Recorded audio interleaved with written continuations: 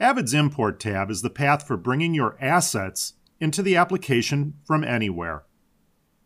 It doesn't matter if it's a camcorder, camera, flash stick, or hard drive.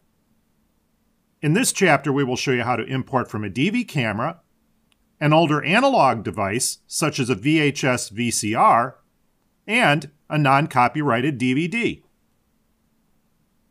The import tool works for a variety of devices. Hard drives, including your local hard disks as well as external drives, video cameras that record to tape, DVD, or even internal hard drives, photo cameras, webcams, DVD and Blu ray discs, and Pinnacle capture devices such as Pinnacle Movie Box, which allows capture of material from older analog devices such as home VCRs and DVD players. External devices simply need to be attached to the computer.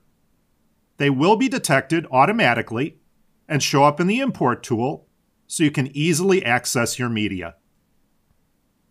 Let's start by capturing from a DV camera using the IEEE 1394 Firewire connector. After the cable is connected, turn your camera on. Wait 15 seconds and then click the Import tab in Avid Studio. Your camera will be seen at the top of the device listing. Here you will select which hard drive and folder you would like your footage captured to. If possible, try to always use a hard drive that is rated for video. These drives are typically larger and faster to handle the amount of data needed for uninterrupted video capture. In the Mode tab, since we are inputting from a DV camera, let's select DV here.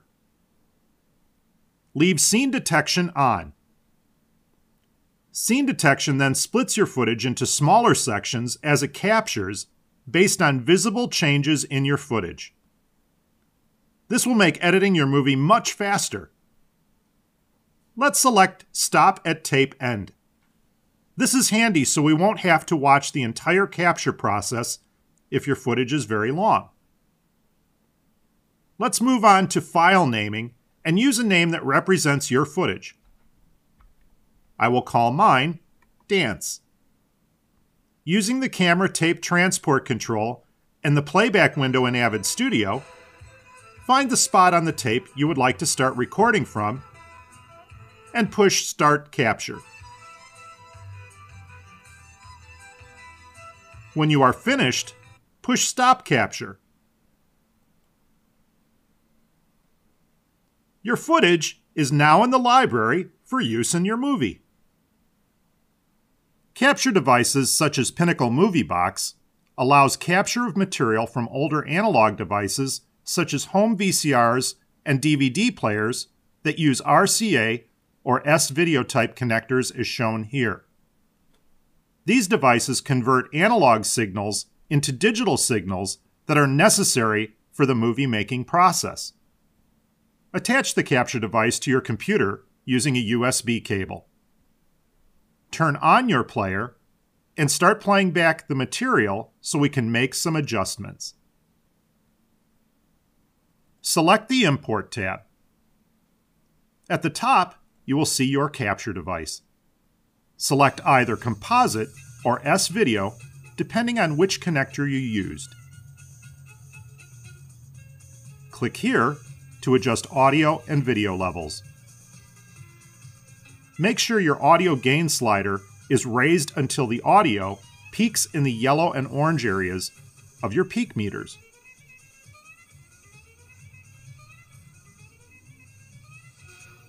Select the format you need for your particular region in the world.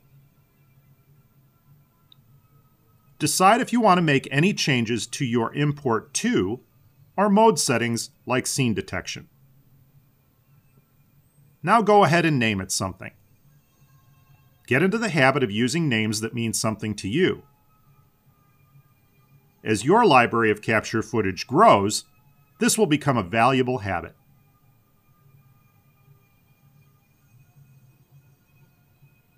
Find the spot on the tape that you would like to start recording from and push Start Capture in Avid Studio. Wait 8 to 10 seconds for the computer to start its capture. When you are finished capturing, push Stop Capture. Your footage is now in the library for use in your movie. If you would like to import the footage from a non copyright protected DVD or Blu ray disc, Avid Studio makes it easy. Simply insert your DVD into your computer's DVD or Blu ray ROM drive. Click the Import tab in Avid Studio. In the Import From window, select the tab called DVD Blu ray.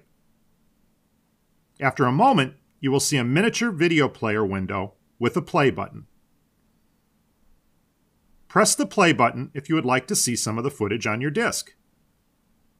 You can scan ahead to different sections using the playhead underneath. If there is more than one thumbnail with your disc, select the video or videos you want to capture by checking the box in the upper right hand corner. Push the Start Import button. When the process is complete, you will have the file footage in a format you can use during your movie making process. Hello, I'm Paul Holtz from Class on Demand. This introductory chapter gave you a quick look at the creative power and flexibility of Avid Studio. If you'd like to learn more about creating your movies with the same high quality production polish used in the latest Hollywood blockbusters, then order your copy of Class on Demand's complete training for Avid Studio on Avid's website. On behalf of Avid and Class on Demand, thanks for watching.